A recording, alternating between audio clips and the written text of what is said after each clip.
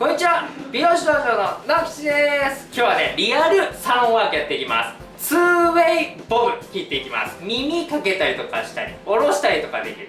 ボブ切っていきますね。でその時に顔周りがねちょっと薄くなっちゃうのが悩みのモデルさんだったりとかするのでそれをこのロット3本で前髪パーマかけながらうまくなじませていこうかなと思いますんでよろしくお願いします。お願いします。吉田さんよろしくお願いします。さてじゃあ今日はどうしましょうか？ちょっと短くしたいなっていうパーマが取れてきて短くしたいなっていうのと、うん。うん、あとちょっともともとこの辺の毛が薄いのでそれが、そこが目立たなくなるような感じで、あと前髪は伸びてきちゃったんですけどそのままでどうしたらいいのかなっていうのがあって。はいはいはいなるほどですね。せっかくピアスを開けたっていうのもあるので、なんとなくちょっと大人っぽく楽にスタイリングできるようなもの思ってますわかりました。え結構そしたら短く切ってもいいんですか、うん、それとも耳にかけて？かけての方がいいです。かけての方がいいですね、はい、うんわかりました。あと今日パーマかけたいんですパーマはどうしようかな。それも迷い中で、うんうんうん、パーマをが取れてきた感じがこうやってこうすごく跳ねてきたっていうかそういう感じがあるのが嫌で、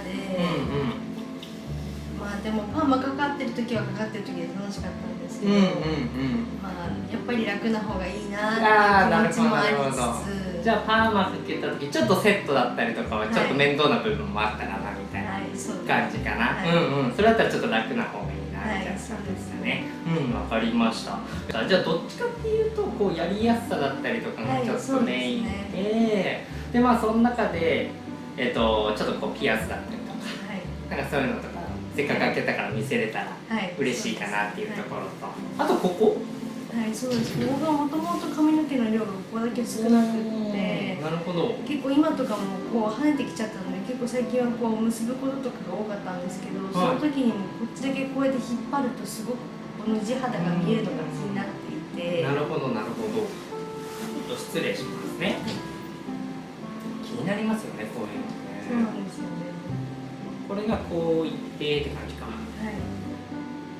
まあ、それだったら、まあ、ここのスペースがね多分気になるのかなって感じだと思うので、まあ、ここちょっとこう厚み出して顔周り切っちゃう方がいいのかなって思うので、まあ、ここの幅をちょっと増やさせてもらえれば、はい、ここの今気になってるっていうところはなくなるかなと思うので、まあ、顔周りはそういう感じで切らせてもらえると、すごくこう今気になってるととちょっと今っぽさっていうのも出せるかなと思うので。ここは短くなっちゃうの？平気。はい大丈夫、うん、大丈夫、はい、じゃあそんな感じでいきましょう。じゃああとはどうするかですね。ボブにするかもっと切るか、まあ、パーマかけるかのっていうところですけど。まあ前回はパーマだったっていうところで、まあ一回短いボブとか、うん、まあボブはね多分結構やりやすいと思うんですよ。で結構短めにしちゃって、うん、もう襟足ギリギリとかのボブにさせてもらって、ちょっとその辺でこういう形、はい、うんうん。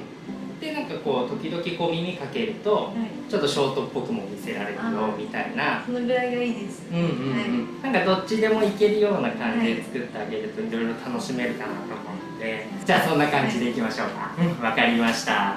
じゃあ結構襟足ギリギリまで切りますけどそれは平気？はい大丈夫です。はい。わかりましたじゃあそんな感じでいきましょうよろしくお願いしますよし、切ってきます。お願いします。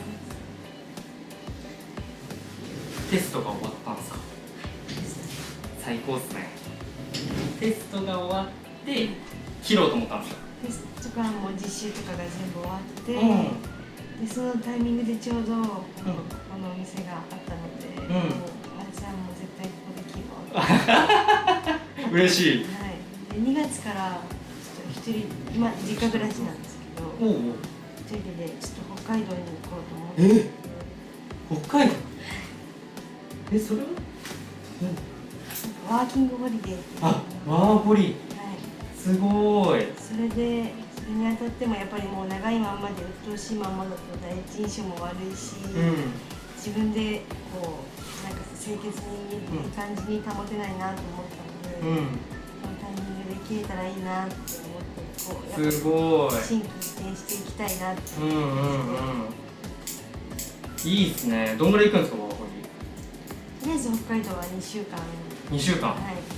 一番寒い時なのでちょっと怖いかなって思いつつ、えいつか？1日から。うわえ1日って言ったらあと2週間ないですね。そうっすよね。やばいじゃないですか。超楽しみですね。楽しいですね。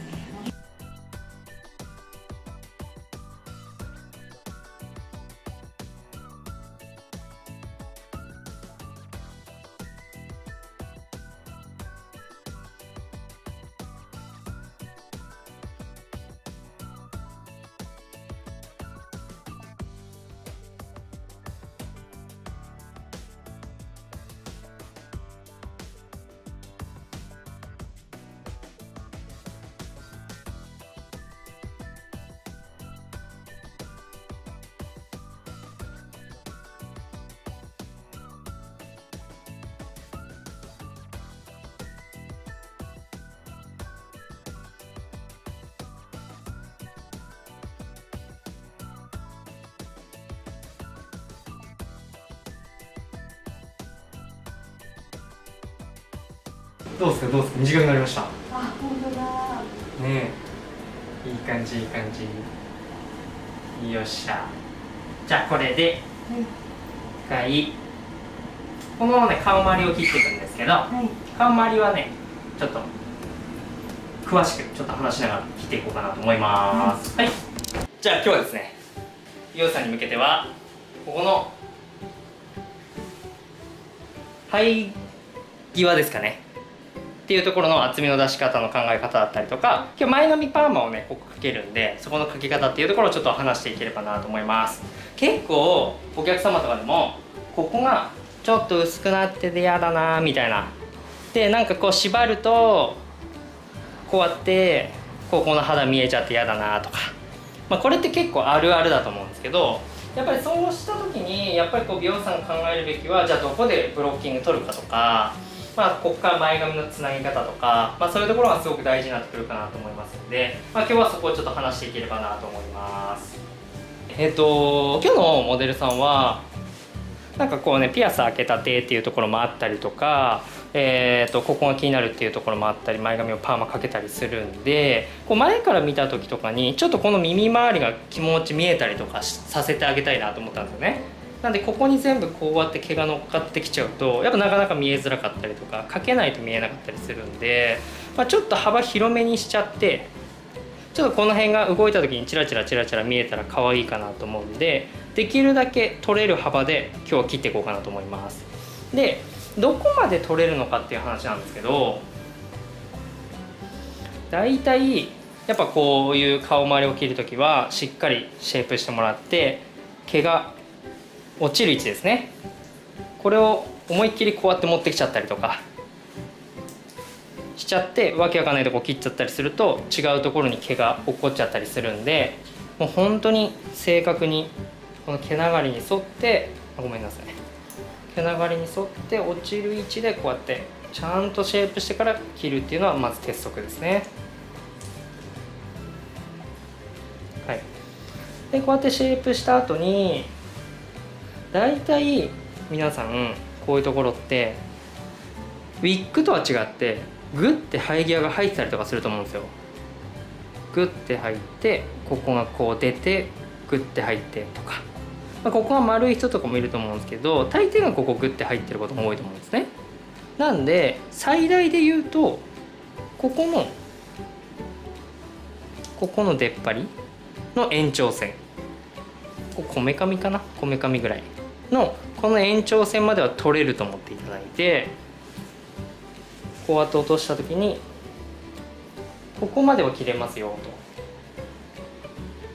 いう形になります。はい。なんで切る時もここからこっちにこう流すようにしたいんで全部こっちに引き出してここを切ります。このまままっすぐ切っちゃうとカットラインが重くなっちゃうんでできるだけ反対側にシェイプしてこれを切ります。こういう形。でこうやってバランス見ていくという形になりますのでもうちょっと短く切っていきます。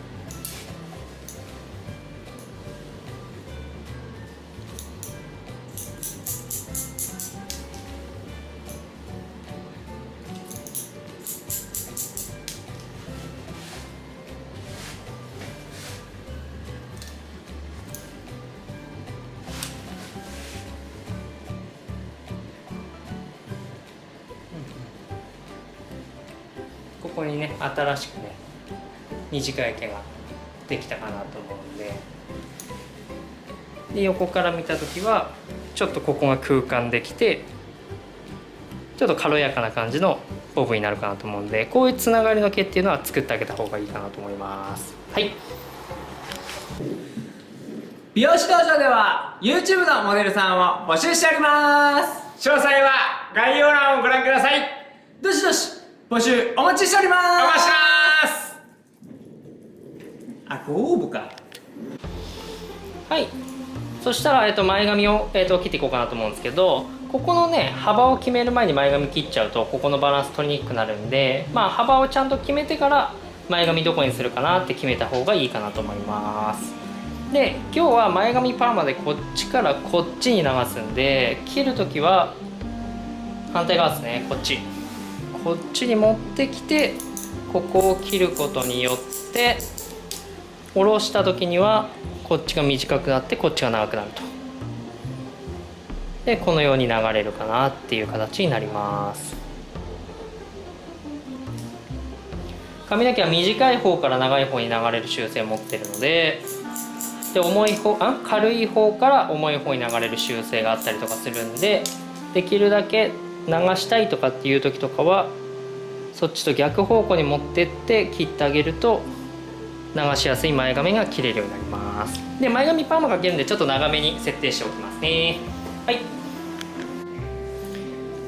はい。じゃあ今日は、えっと、3本ね前髪パーマで巻いていきたいと思います。この顔周りの毛をちょっとこっちにこう流す毛と流すパーマとこっちにこう流すパーマと別個で分けていきますね。で、えっと、こういうパーマをかけるときに意識してほしいのはグリってならないようにしてほしいですよね。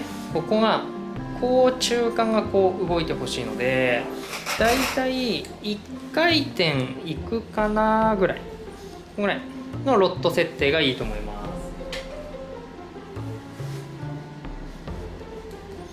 このロット設定もどんぐらいにしようかなっていうのって結構難しいじゃないですか決めるの。だいたいワンカールだったらほんとこの毛の半分から毛の半分ぐらいから1回転グリって入るぐらいのロット系で巻いてあげるのが一番いいかなと思います。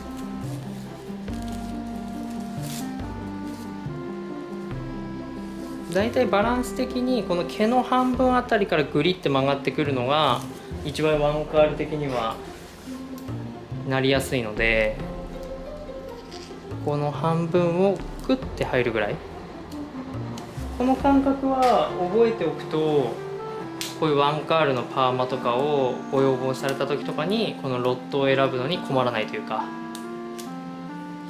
半分が1回転するぐらいって覚えておくと理論的にまあまあ分かってくるかなと思います。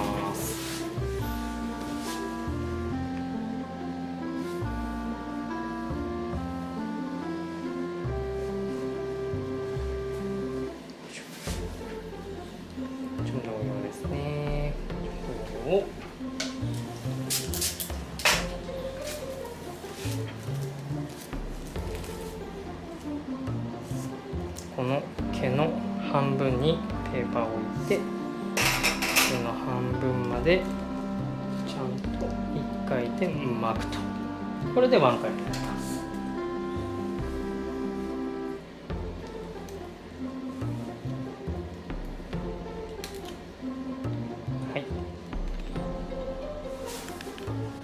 はい。はいパーマかけ終わりました。でパーマかけ終わってちょっとここ前髪にカールが生まれてるかなと思います。でここの顔周りにもちょっとちょろっと動きが出てるかなと思うんでまあこれ乾かしてから質感調整だったりとかしていこうかなと思います。どうすか？どうすか？いい感じですよね。久しぶりのボブ。です久しぶりのボブ。いいね。ちょっとここから軽くしていきますね。はいじゃあ切り終わりました。で今何もスタイリングでも何も本当につけてない状態なんですけど感じですねで、まあ、前髪パーマかけてちょっとこうやって流れやすいようにしてるのとここの幅を広めたことによってこうやって耳をかけた時とかにここの幅この隙間を埋めてあげたという感じになります。で、まあ、ボブに切ってあるんでこう耳かけた時とかにちゃんとここがラインが揃ってるっていうのとあとここの丸みですね。でピアスとかももちろんこうやって見えるようにしてあります。はい。じゃあまあアイロンでねちょっと軽く内巻きにさせてもらって今日使うのはこちらです。じゃじゃーん。トラックオイルです。はい。トラックオイルをこのぐらいかな。2プッシュぐらいしてもらってこれをつけていきます。